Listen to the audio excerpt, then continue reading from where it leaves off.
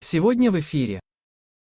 Механизм действия тренажера следующий. На экран компьютера выводится изображение какого-либо предмета. Задача ребенка – правильно произнести название этого предмета.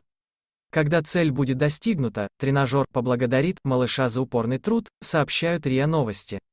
Новизна изобретения в том, что тренажер мотивирует на постоянные упражнения. Кроме того, у ребенка нет привязки к компьютеру. Достаточно взглянуть на монитор с картинкой и работать над произношением в любом месте комнаты, рассказал Назим Гейдаров, старший преподаватель кафедры вычислительной математики Кемеровского государственного университета Кемгу.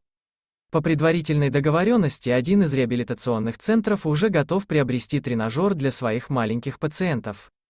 Благодаря своему изобретению молодой ученый стал победителем молодежного инновационного конкурса «Умник», организованного для господдержки молодых ученых и помощи во внедрении их изобретений.